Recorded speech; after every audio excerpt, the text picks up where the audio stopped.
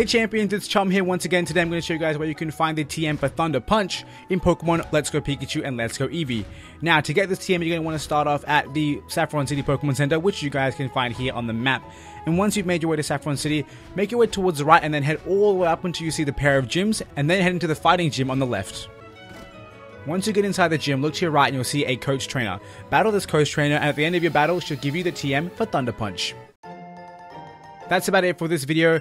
If you guys enjoyed this and you found this video helpful, make sure you hit that like button. And of course, if you guys want to see more Let's Go Pikachu and Let's Go Eevee guides in the future, make sure you hit that subscribe button also, because I'll be bringing out as many guides as possible over the next coming days to help you guys have the easiest time possible and the funnest time possible when playing this brand new Pokemon game.